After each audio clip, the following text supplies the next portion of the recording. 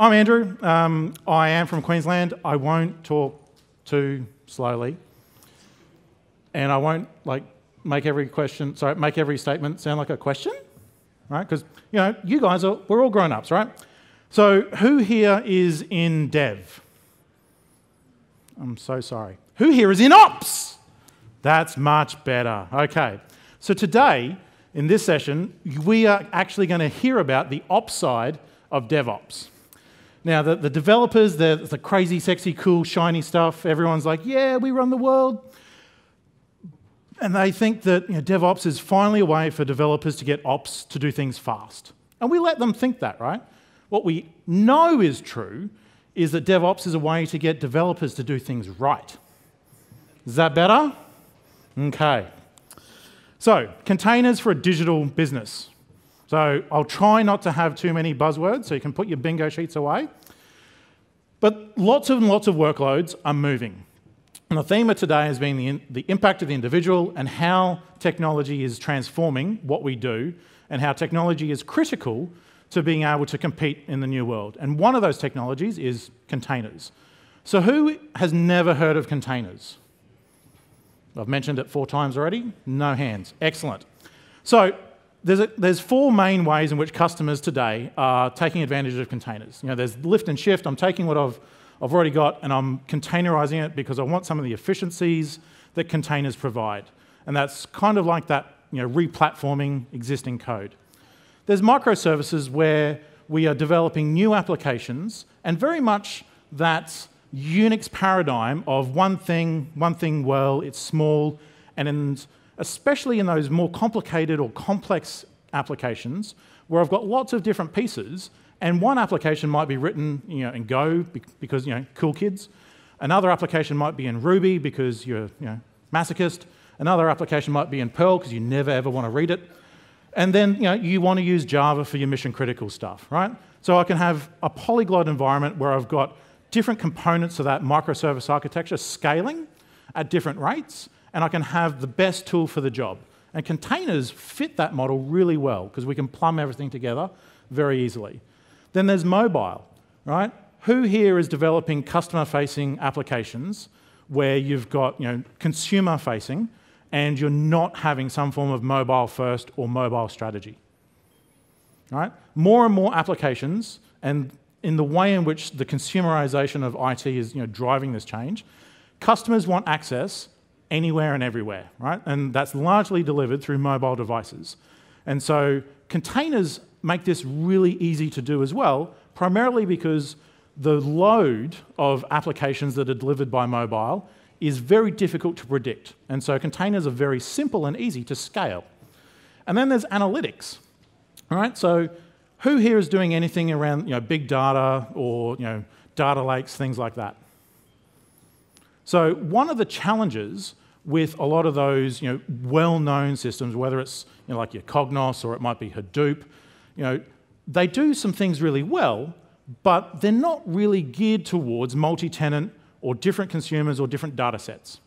So one way to have, you know, within an organization, have lots of different you know, customers of your big data platform, rather than trying to crowbar multi-tenancy and security, you know, row-level security into your big data platform, is just deploy lots of them. And containers make that very simple as well. Some of the advantages of moving to containers, you know, they're efficient. Right? We've kind of moved beyond, hey, it runs on my laptop, to now it's running in my data center, or it's running on multiple clouds. And so we're able to drive a higher level, higher level of utilization out of containers because we don't have that operating system tax for every workload. I can get better efficiency than, say, having a virtualization hypervisor or you know, cloud for everything. There's still advantages to doing that and reasons why you would, but you don't have to. Scalability, right? I can scale my containers much more simply because it is, it's an application. And more and more commonly, people are packaging the dependencies in with their container chain, right? So I don't need to worry about having different applications and sociability issues where they conflict on library versions, right? So those applications can scale to whatever they need to. There's self-service. This is a key thing in that you know, rapid agility space where they're doing that you know, test fast, you know, fail fast uh, paradigm of development, being able to just, I just want like a big box. So ops own the box, inside developers do whatever you want. I can do that for compute, I can do that for networking, and I can now do that for storage as well. But I still retain control while giving the functionality to my end users, who in most cases are application or developers. And you know, from a hybrid cloud perspective, one of the key things that we've been talking about, you know, Red Hat's got this idea of an open hybrid cloud. And we mean open not just in terms of open standards, but open source. We mean hybrid, not just in geographic diversity, but technology diversity as well. So don't go and buy a mainframe in the cloud by just using one public cloud vendor. Use a number of them for both technical and commercial reasons. Right? Don't put all of those eggs in one basket. And so when I look at containers and some of the challenges that doing things natively in the container space, you know, there's you know, different cloud providers have their own engines, but they're locked to that provider. So when I want to abstract up, I want to be able to deliver the same developer, the same application, and the same operator experience, regardless of the infrastructure it's running on. Does that make sense? Anyone vehemently disagree? Excellent. So, there's kind of four patterns across an organization. Now, there's container platforms. You know, who here has deployed Kubernetes? Cool. More masochists in the, in the crowd. I kind of find it funny that containers started because developers wanted to go faster. But they only work on your laptop or a server and they don't scale. So we came up with these container management platforms like Kubernetes that really focused on how do I operationalize them. But Kubernetes, you know, the irony is, sucks for developers. It's great for ops. It's complicated, but it's focused on ops. And so Red has taken that story, and as we'll see later, we've taken the container, the platform, and put it back in charge of the, the developer with what we call OpenShift Container Platform. There's cloud native applications. So who only relies on third-party off-the-shelf software? Right? Common response for a room this size, right? Everyone here has got some form of development happening inside of their organization. And you know, whether or not you call it DevOps or you know, whatever paradigm or you know, culture you've got, you're writing your own software and your own applications. And as I you know, discussed slightly earlier, that hybrid approach, where I want to be able to deliver those same services regardless of where it's running. Like take an airline with a booking and a check-in system you know, on mobile. It's got to be up, it's got to be fast, it's got to be resilient. But I'm a global airline, and in China, there's no Google, so I run on you know, Amazon. In North America, I run on you know, Azure, and in Europe, I run on you know, Google Cloud, right? Three different commercial contracts, three different technologies, but I want to deliver the same experience to both my end users and my developers and application people, as well as my ops, right? So being able to abstract away the underlying infrastructure and actually focus on the things that matter. Like, we have the world's best operating system, and it is more important than ever. But who would rather focus on the application than sitting there tuning a kernel? Every hand. Right? Excellent, right? And so we want to be able to focus on business innovation. And this is where containers can accelerate the way in which developers write and test code because they can get out of the way all of that tool chain stuff, all of that environment setup, all of the, the security that they need to go through to actually get stuff approved and released, right? Because we have a platform that enables all of that. So from a financial perspective, you know, there's a lot of appeal to looking at this sort of technology. You know, these are some of the case studies around the sort of return that you can get. You know, being able to pay back your investment you know, in under a year, like eight months, that's pretty good, right? Who here has a CFO that goes, you know what, take all the time in the world. I don't mind. Right? Right? That NPV thing, don't worry about it. Right? Being able to actually get tangible, measurable benefits. You know, like, you know, my boss and I were discussing this earlier about you know, how can you, you know, actually get some real world benefit out of these stats. Like being able to develop a third more applications with the same staff. Like that old catch cry of, you know, I've got to do more with less. Like this is a way to actually do that, right? I kind of look at what we're doing in IT today, and we're finally realizing the promise of what you know, we were told 10 and 15 years ago. Right? The network is the computer, if anyone remembers that. So, how do we do this? We keep hearing about containers from the developer perspective, and that's nice, that's cool. But then we actually need to run stuff, right? So, this is where Red Hat is the only vendor that has got this full stack that looks at the bottom all the way up to the top, from the, the base infrastructure all the way to presentation. Right? So, you know, that XPaaS layer across the top in green, you know, the business automation, integration, you know, what do I do with my data? How do I connect stuff? How do I actually go and use you know, other people's technologies? Because you know, we're not the only vendor you're going to be using, and we don't do it all. And then how do I actually make my developers productive? Right? So that's what the developers see. And you know, rightly so, they don't care about what's below the dotted line. But that's what our job is about. We need to keep those lights on. We need to make sure it's resilient and secure and performant, right? So this is where what we call the, the Red Hat stack or you know, OpenShift container platform integrated with the other components of our solution suite actually make your life easier and tell that complete story. So from an automation perspective, you know, it's all Ansible all the time right? For those of you who remember, you know, Red Hat invested in Puppet because that's where the community was going. And pretty much as soon as we did, the community moved to Ansible. so, yes, right? But the cool thing about Ansible, it does Windows, it does Linux, it does Unix, it does networking devices, it does containers, it does private cloud, it does public cloud, it does your coffee machine, right? It's, it's across your organization. There's no more of those silos in automation like you get with things like Puppet or Salt or Chef, things like that. Everyone is using it because it's simple, right? It's the language of DevOps. Then there's OpenStack. So who here is running in public cloud?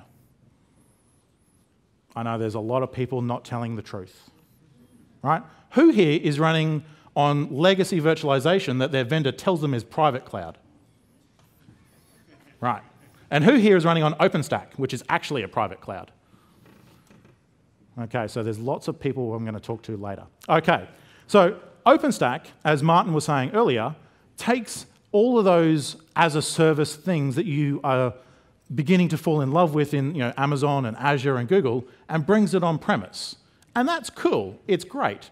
And it's that next generation of infrastructure as a service that you manage, or maybe someone manages for you, right? Like one of our partners right?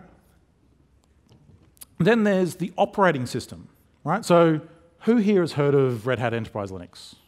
It's a small part of our business. Right? We get Linux, right? You know, Paul Cormier, our you know, head of products and technologies, often you know, jokes you know, privately, this, this would never leave this room, right? That there are more people working on the kernel inside Red Hat than some of our competitors have in their entire organization, right? There is no one that knows Linux better than Red Hat. Right? When people think Red Hat, the prevailing view is often, oh, the Linux company, right? Now, who still thinks that we are just the Linux company?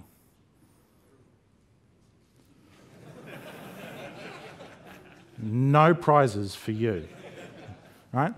But what we've done is containers, oops, yeah, containers are supposed to be thin, they're supposed to be fast, they're supposed to be, you know, scale, a full operating system, as awesome as what Red Hat Enterprise Linux is, is too fat. It's too big. And that's fat with a pH. You know? like. So this is where we've created a container spin called Atomic. Right? It only runs containers. It has SE Linux built into it. Who here still turns off SE Linux as the first thing you do? Right? No prizes for you either. Right? SE Linux, you know, to be fair, used to not be very nice. In RHEL 6, and especially in RHEL 7 now, SE Linux is much more user-friendly, it's much more mature, and what we've done in Atomic is make it an integral part of providing mandatory access control and isolation between your containers. So you can't break out of a container and, you, and you know, take advantage of the host, and you can't break into another container. So you have that security and that peace of mind around isolation. Right?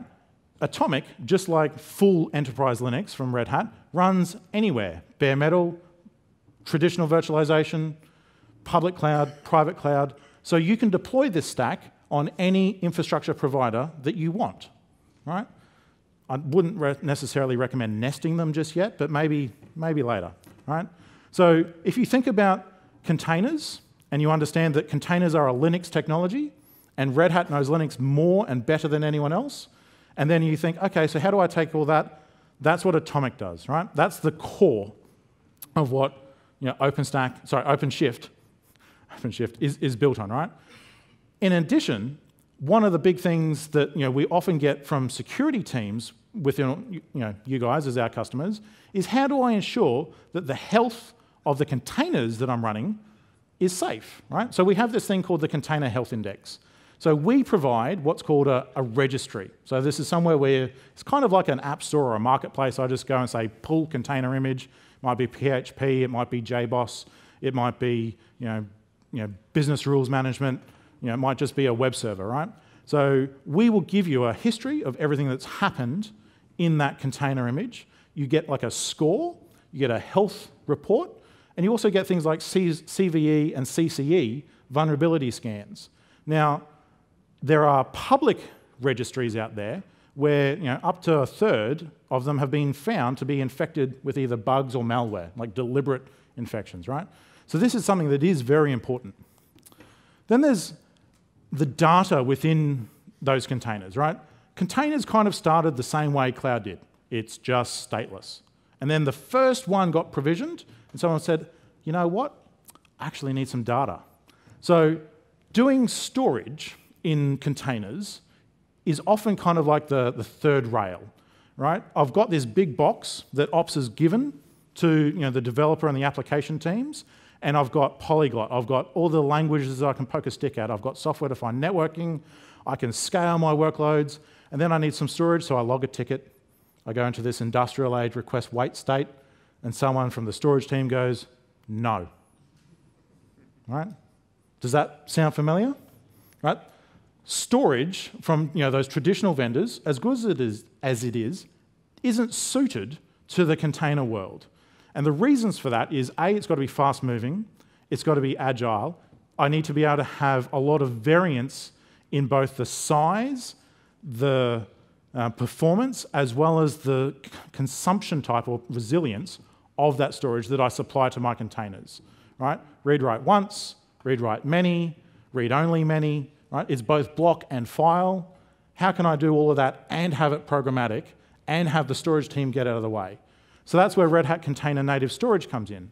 It's built on the strength and maturity of Gluster, and it has been specifically, you know, we have a, a separate product now, specifically targeted to providing container native storage. It runs as a container within OpenShift. It's got a RESTful API. It does everything, right? It's kind of like I've done for storage what containers have done for development, right? So the, the developer experience is the same experience across all of those facets of infrastructure that they need.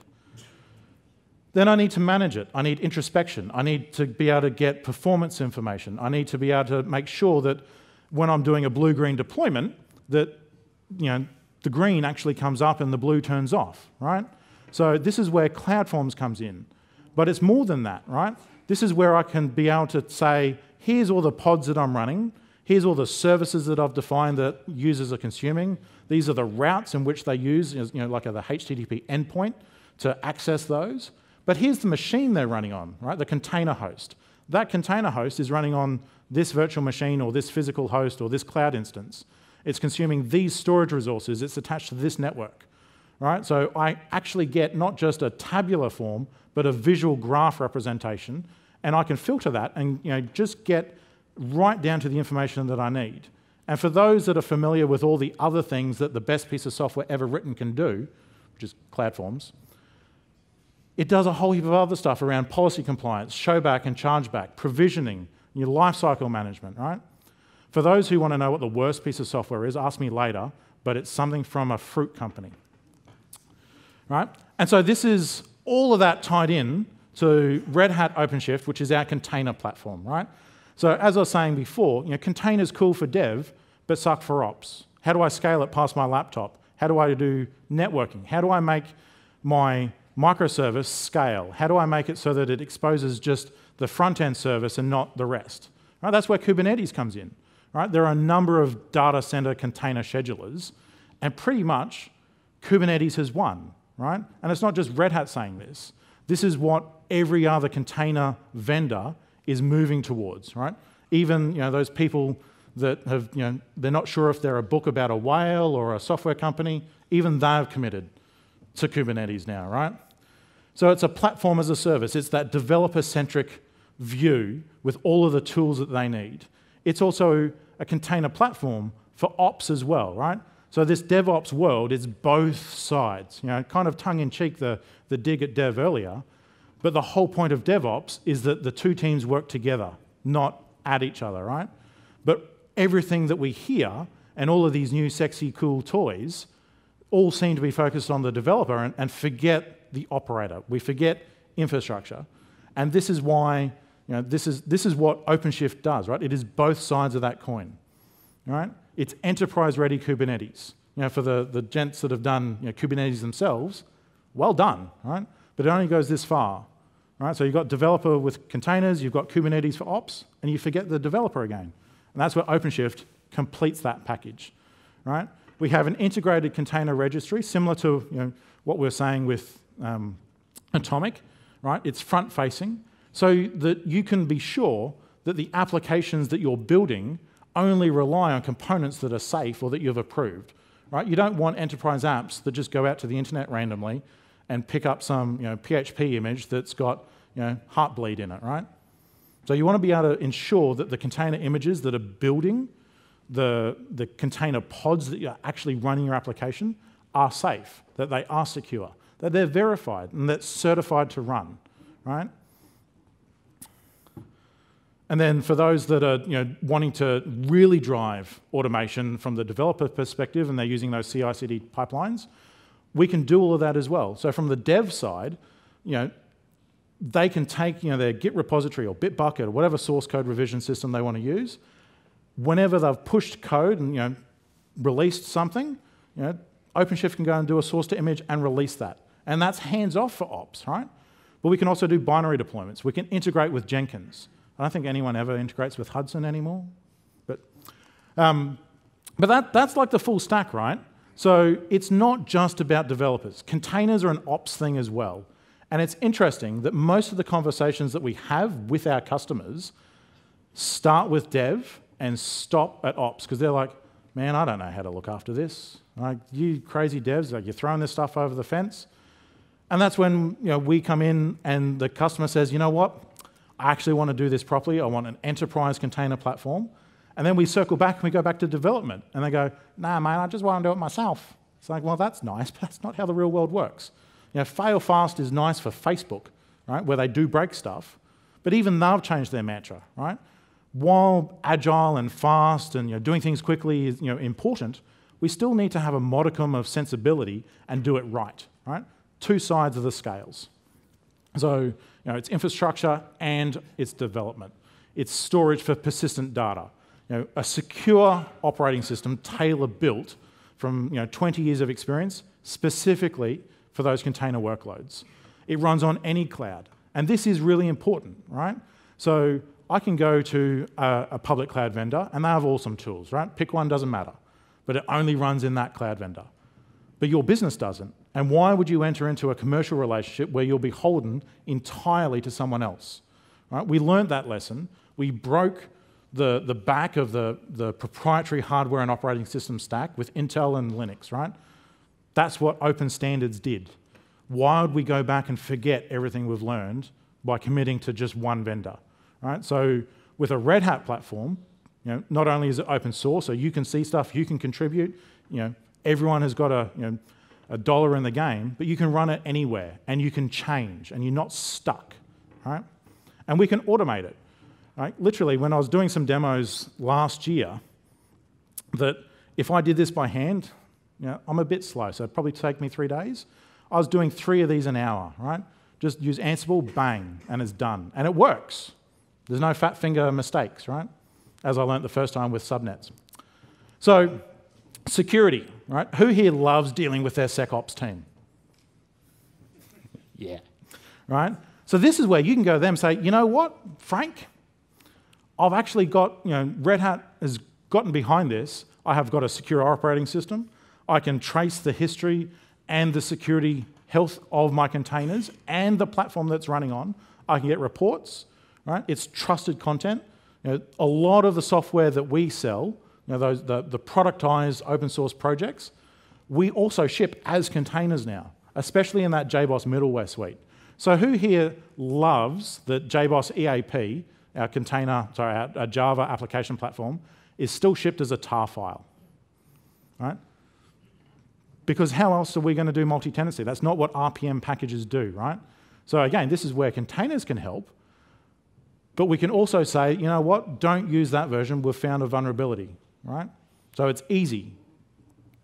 Trusted updates and you know, all of the backing of our massive security response team, as well as our quality engineering, right? And you know, the stat that I was talking about before around you know, 30% or you know, about a third of some of those upstream public container registries where you know, typically that's where the developer journey begins is you know, vulnerable. So who's actually doing this? Right? Who's, who's actually done this in production and hasn't just listened to a pitch and going, yeah, that sounds good? This is a slide from our Red Hat Summit earlier in the year over in Boston of just some of the customers that were speaking at Summit about OpenShift. Not that have deployed it. These are ones who are publicly, publicly out there saying, you know what, this stuff is awesome, right? So some specific ones. Finance, you know, Deutsche, Tele, uh, Deutsche Bank, you know, they started with 20% adoption, and within a year, they've doubled that to 40, and their goal is to go to 80, 85% in the next 12 months, right? That's a significant uplift in platforms that they've moved. Who else has been able to move that many applications within a year? Right? We keep hearing about this two to three year life cycle of deploying new apps, and I'm talking to a bank at the minute about this, right? That's actually what's in their business case. And that's why they're looking at the Red Hat stack to be able to accelerate that journey, right? And they're in Sydney, and they're not Macquarie. We love them, right? But let's give someone else a turn. Right? So GovTech up in Singapore, uh, you know, our um, Asia Pacific friends, you know, Frank Flymore, who love Destinasia, right? It's kitsch, but it's cool, right? So you know, they've got this My Responder tool where you know it's opt-in, but if you have a, a heart attack, someone who has skills like a medical professional that's nearby will be notified. Right? Apparently, heart attacks are a big issue in Singapore. Who knew? But this is, you know, we heard some stories when we were in uh, Ho Chi Minh recently about this has actually got tangible numbers behind how many lives they've saved. That's cool, right? That's, that's actually a real world people service, you know, government serving their citizens. Who would have thought, right? We've got Swiss Rail. Now, this is interesting that um, I, I flew in yesterday and I caught the train. And I've got a, an Opal card and there was $16.13 on it. And it wasn't enough to get to North Sydney. So I went, oh, drats, I'll put some money on it. Here's $20. No, can't get through. I wait a couple of minutes, still can't get through.